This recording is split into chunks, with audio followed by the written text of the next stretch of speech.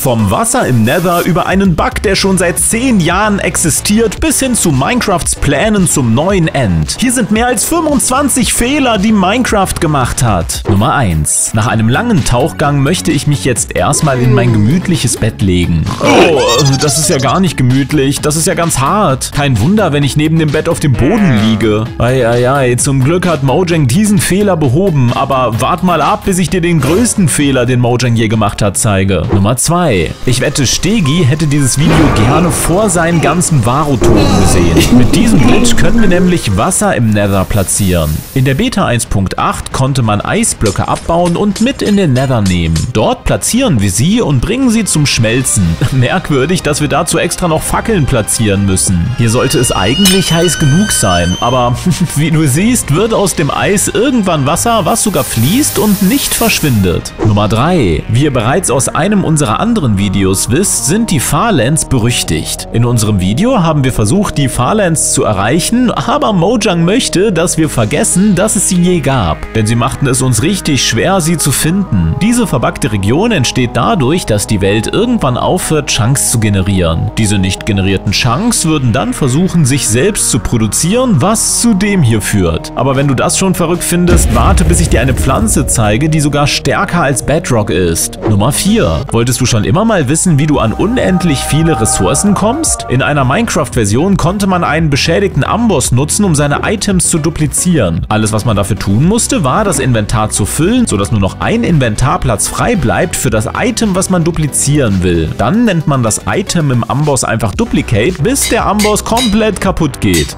Und zack, schon wird aus einem Item plötzlich zwei. Und wenn man noch mehr als nur ein Item haben will, dupliziert man einfach Schalker-Boxen. Auch das klappt natürlich wunderbar.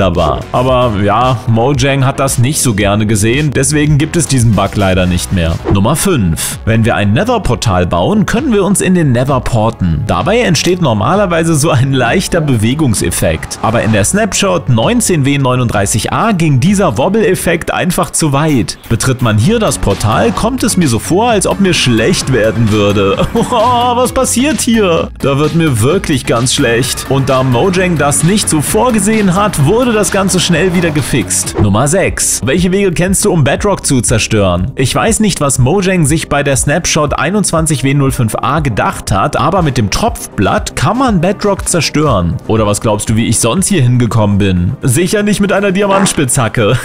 ich zeig dir jetzt, wie das geht. Zuerst brauchen wir Ton und darauf platzieren wir unsere Top-Pflanze. Jetzt beschleunigen wir das Wachstum mit Knochenmehl und zack, weg ist er. Und auch hier klappt das ohne Probleme. Einfach unter den Bedrock pflanzen, Knochenmehl rein und schon ist der stärkste Block in Minecraft zerstört. Na, kanntet ihr diesen Trick? Dann schreibt es mal unten in die Kommentare und abonniert den Kanal, denn dann wird euer Kommentar für uns hervorgehoben, sodass wir ihn besser sehen können. Nummer 7. In der Snapshot-Version 22W17a trollte Mojang uns gewaltig. Erstens, ich kann hier meinen Skin nicht nutzen. Zweitens, die Ziegenhörner sind in jedem Reiter des Creative-Menüs zu finden. Und wenn ich in jedem meine, dann meine ich auch wirklich in jedem. Oh Mann, da scheint ein wenig Verwirrung zu herrschen. Nummer 8. Die Texturen der Birkenstämme sind nicht die schönsten, aber in der Snapshot 20W28a geht es um etwas ganz anderes. Na, fällt dir was auf? Wenn wir darauf achten, sehen wir, dass die Birkenbäume in geraden Linien zueinander wachsen.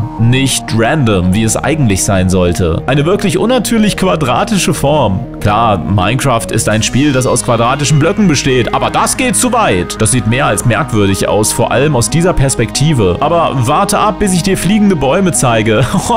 Nummer 9. Wer ist denn kein Freund von Katzen in Minecraft? In der Snapshot 20W45a tun sie mir auf jeden Fall richtig leid. Na, ist es dir bereits aufgefallen? Ja, du hast richtig gesehen. Sie haben leider nur drei Beinchen. Oh Mann, wo ist denn das vierte Bein hin? Oh, ich weiß es nicht. Und Mojang anscheinend auch nicht. Deswegen haben sie sich entschlossen, den Katzen ihr viertes Bein einfach wiederzugeben. Danke dafür. Nummer 10. Birken, die in Reihe und Glied wachsen, haben wir ja bereits gesehen. Fliegende Bäume sehen so aus. Wie die dort hochgekommen sind, fragst du dich? Naja, einfach einen Setzling unter einen Erdblock setzen und mit Knochenmehl zum Wachsen bringen. Egal wie hoch der zweite Erdblock ist, der Baum würde immer auf dem Erdblock, der darüber in der Luft schwebt, wachsen. Naja, und wenn man das Spiel an seine Grenzen bringen will, wie wir es jetzt tun, dann sieht es irgendwann eben so aus. Jetzt stellt sich nur noch die Frage, wie ich an mein Holz komme. Vielleicht hilft es ja, wenn du das Video likest. Nummer 11. Wir alle wissen ja, dass X-Ray Cheating ist, aber kanntest du schon diesen X-Ray-Trick mit dem Kompost? In einer Minecraft-Version konnte man einen Kompost in den Boden stellen und Sand auf sich herunterfallen lassen. Dadurch konnte man in den Boden hineinschauen, zumindest in einem gewissen Maße. Na, was meint ihr? Ist das auch Cheating? Nummer 12. Türen in Minecraft haben vier Löcher, durch die man hindurchschauen kann und äh, ja, auch durchschießen? Ja, in dieser Version auf jeden Fall. Man konnte einfach durch die Tür schießen. Aber das Ganze funktioniert auch andersrum. Der Zombie greift mich wirklich durch die geschlossene Tür an. Okay, später zeige ich dir noch, was Minecraft mit dem End vorhat und wie du unendlich viele verzauberte Bücher bekommen kannst. Die könnten einem in so einer Situation helfen. Nummer 13. Minecraft hat jede Menge Fehler, wenn es um unendliches Rennen bei Mobs geht. Das unendlich lang rennende Kamel kennen aber die wenigsten. Und wie die in ein Minecart passen, weiß ich auch nicht. Aber so geht's. Einfach Schienen und ein Minecart platzieren und ein Kamel daneben. Dann setzen wir uns auf das Kamel und bringen es zum Rennen und springen. Und schon läuft es bis in die Unendlichkeit. Aber zum Glück ist Mojang gegen Tierquälerei und deswegen wurde der Bug bereits behoben. Nummer 14. Offensichtlich ist es unmöglich, einfach so länger unter Wasser zu bleiben. Aber mit einem einfachen Eimer können wir uns in den tiefsten Meeren am Leben erhalten. Einfach nach vorne schwimmen und währenddessen das Wasser mit einem Eimer abschöpfen. Na, kanntest du diesen Trick? Oh Mann, Leute, ich hoffe trotzdem, dass ich hier nicht gleich ertrinke. Nummer 15. In der Snapshot 1.20 kannst du so viele verzauberte Bücher machen, wie du willst. Und ja, es ist so, wie ich es sage. Unendlich viele. Dazu musst du einfach diese gemeißelten Bücherregale füllen und dann mit einem verzauberten Buch in deiner Hand anklicken. Und wie du siehst, können wir uns dann unendlich viele verzauberte Bücher cheaten. Und was noch merkwürdiger ist, ist, dass wir mehr als 64 Bücher pro Inventarplatz haben können. Wie geht das denn? Nummer 16. Wenn ich baue, muss immer alles symmetrisch sein. Ist das bei dir auch so? Mojang scheint da ja auch eine Vorliebe zu haben. Schließlich besteht das Spiel aus Blöcken. Wobei, beim Plünderer Außenposten ist irgendwie nichts symmetrisch. Das triggert mich komplett. Hier an diesen drei Ecken sind überall diese zwei Holzplanken rechts vor dem Pfeiler. Aber hier an dieser Ecke fehlt einfach eine Planke. Hä? Ich bin total verwirrt. Triggert euch das auch so wie mich? Schreibt es mal in die Kommentare. Und jetzt wird's gleich noch wilder. Nummer 17. Viele Texturen in Minecraft sehen großartig aus, aber einige, pf, ja, naja, schau sie dir mal selbst an. Zum Beispiel, wenn wir eine Spur aus Redstone legen. Auf den ersten Blick sieht es normal aus, aber wenn wir genauer hinsehen, ist es gar keine durchgehende Spur. Oder hier bei dem Kessel, wo einfach ein Pixel zu viel ist. Am schlimmsten ist das aber bei manchen Rüstungen. Helme, die zum Beispiel anders aussehen, wenn sie im Inventar sind, als wenn man sie anzieht. Ich meine, wo ist der Nasenschutz hin? Tut mir sehr leid, wenn ich jetzt ein perfektes Bild von Minecraft zerstört habe, aber das nervt doch. Über diese und andere Texturen haben wir aber auch schon ein komplettes Video gemacht. Schau dir das auf jeden Fall mal nach diesem Video an. Nummer 18. Elytren in Kombination mit Feuerwerken sind einfach nicht mehr aus dem Spiel wegzudenken. Aber wusstest du, dass als die Elytra zum ersten Mal ins Spiel kam, nicht zum Fliegen gedacht war? Deswegen konnte man sich auch nicht mit den Raketen boosten. Die Elytra war nur zum Gleiten gedacht. Damals musste man sich selbst mit einem Schlag 2 Bogen abschießen, um in der Luft zu bleiben. Zum Glück können wir heute aber einfach mit ein paar Feuerwerken herumfliegen. Nummer 19. Sand und Kies sind so ziemlich die einzigen Blöcke, die in Minecraft von der Schwerkraft beeinflusst werden. Wie kann es also sein, dass man Sand oder Kies findet, welches an der Decke zu kleben scheint? Das war tatsächlich nämlich mal ein Bug, der von einem Entwickler erstellt wurde.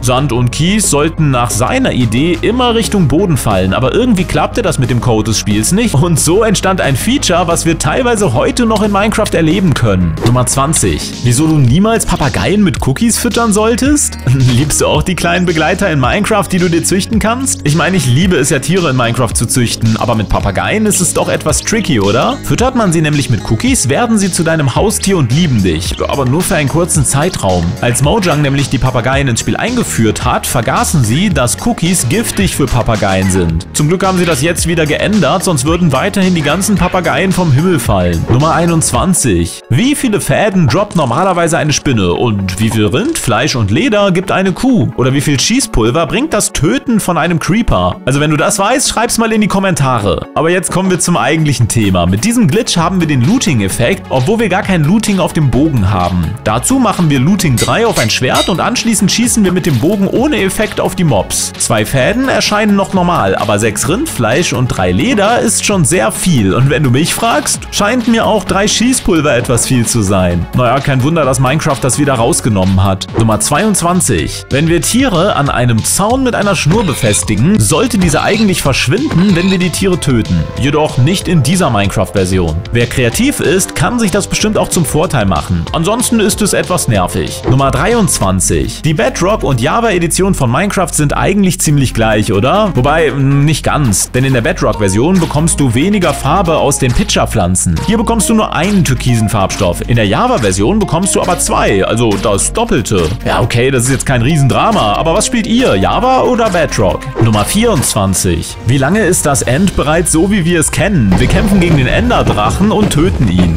Ich glaube, die letzte Änderung kam mit der Welt nach dem End, den Festungen und den Elytras. Aber langsam ist es wieder Zeit für ein Update im End, oder? Nachdem vor ein paar Jahren der Nether angepasst wurde, haben Bobby und ich gehofft, dass Mojang auch das End anpassen würde. Aber leider lassen sie sich dort sehr viel Zeit und man speist den Spieler immer noch mit den gleichen Endfestungen und dieser leeren Welt ab. Meiner Meinung nach ist das ein großer Fehler, den Minecraft endlich mal ändern sollte. Nummer 25. Bist du schon mal an Fallschaden gestorben? Ah, ganz schön peinlich. Wir alle kennen Water MLG und nach ein paar Mal üben sollte das jeder hinbekommen. Aber wusstest du, dass es einen kleinen Glitch gab, mit dem man ohne Bett, Spinnenweben oder Wasser einen MLG machen kann? Alles, was du tun musstest, war an der richtigen Stelle und Winkel auf einen Block aufzukommen und du bekamst keinen Fallschaden.